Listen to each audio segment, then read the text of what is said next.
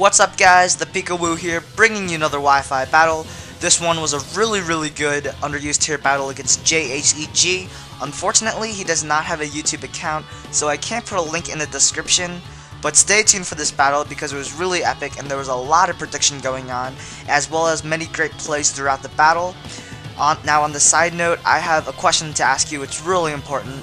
I have pretty much run out of Pokemon music to put in my battles. So do you guys want music or no music? I actually have a couple of options that I can't decide on. The first is just to repeat some of the past Pokemon music and put them on my recent videos. The second option is to um, have no music at all. And the third music is that I have hours of epic trailer music, similar to the music in episodes 50 and 55. And I can use that instead of Pokemon music. So um, it would be really appreciated if you guys can leave a comment on what you guys would prefer and enjoy the battle. Okay guys, so I'm leading off with the Toxicroak and this is my custom anti-lead set. Now as you can see, it does carry the Protect, and I do that to scout whether he is going to go for the attack or trick. Seeing that he tricks, he probably has choice specs, and I have nothing to take the trick well, so I go into the Blaziken to swap my choice scarf with the choice specs. Now I go for the superpower and he goes into a Slowbro, which is a really great play on his part because Slowbro resists the dual stab, um, fire, and fighting that my Blaziken carries. And because I'm locked into the fighting type move, I have to switch out and I decide to go into Claydol because um, Slowbros can sometimes carry status moves such as Toxic or T-Wave, and I don't really mind Claydol getting status at all, but instead, this Slowbro is actually a Calm Minder, and that's not really a big deal because I can live a Surf easily and also get my uh, Stealth Rocks up at the same time.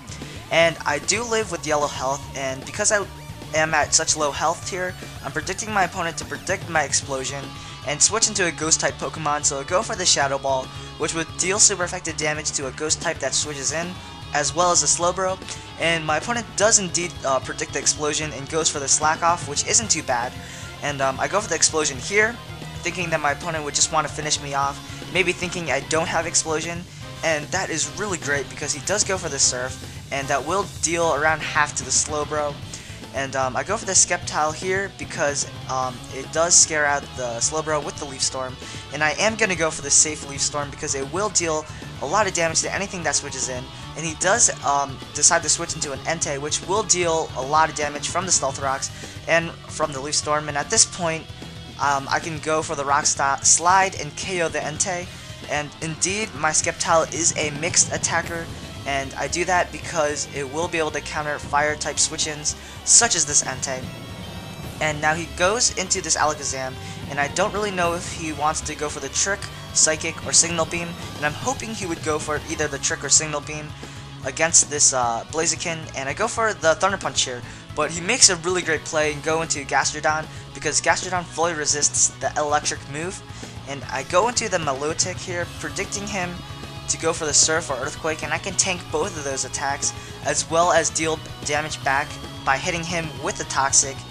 But um, yet again, he does go into a Venusaur, which is another great play, and um, Venusaur is possibly one of the best counters to Milotic in the UU tier, and I see that I get leftover recovery before the Venusaur, which means I'm faster, and this Venusaur is probably a bulky set, and probably does carry the Sleep Powder, and I can go into my Registeel because my Registeel does carry the Sleep Talk, and after seeing that I am a Sleep Talker, the Venusaur is probably going to switch out because um, he can't really do much to my uh, Registeel because I resist both of his stab moves, uh, uh, Grass and Poison, and um, I'm going to decide to pull off a double switch, predicting the Slowbro to come in and abuse my Sleeping Registeel and possibly go for the Slack Off. So I go into my Sceptile to counter the uh, Slowbro, but he actually goes into a Gastrodon, which is just as good.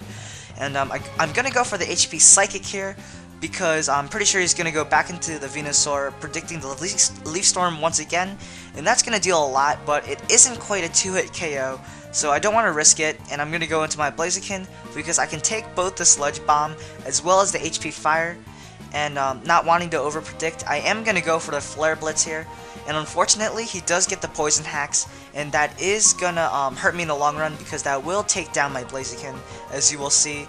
Um, I go for the Flare Blitz here, and after the recoil, I will be able to survive, but die to the poison. And um, yeah, that kind of sucks because I needed my Blaziken later, as you'll see. And um, now it's a double down, and we both go back into our leads.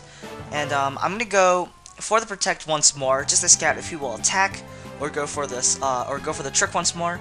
And he goes for the psychic, and I really don't want to go into my Registeel because he might pull off a double switch and go into his Slowbro and start setting up, and that's not good. So I let my Toxic Toxicroak take the Psychic because I do have the Focus Sash, and um, counter with a Stone Edge, which will finish off the Alakazam at that point. Now he goes into a Slowbro, and I do pack the Taunt on my Toxicroak, and um, that works out amazing because he does go for the non-attacking move, and um, I'm going to leave my Toxicroak here as Death Fodder because I want to see Slowbro's last move. If it is Psychic, and um, he does reveal that it is Psychic, and I go for the Stone Edge, which does a decent amount of damage concerning that Slowbro. That Slowbro is probably max HP and max attack. Now I go into my Sceptile to uh, scare off the Slowbro and see what his last Pokemon is, and unfortunately for me, this last Pokemon is the, a Registeel. And Registeel is going to be a really big pain in the butt because I don't have my Blaziken to counter this Registeel anymore. And um, I'm predicting the Thunder Wave here because most Registeels do carry Thunder Wave. And I go in my Milotic just to get my Marvel Scale boost. And um, I go for the Toxic here, predicting the switch because Registeel can't do much to my Milotic. And that was a really great play because I am going to be able to get this Gastrodon poisoned. And my plan here is to get both of his bulky water Pokemon, Gastrodon, as well as Slowbro poisoned. So eventually they will be able to be taken down by poison uh, recoil. And um, um, all he has left is his three uh, bulky Pokemon. He doesn't really have a sweeper um, because, well, he does have the Slowbro, but um, it's pretty much gonna be uh, taken down by poison. If I do get a toxic pulled off, onto the Slowbro.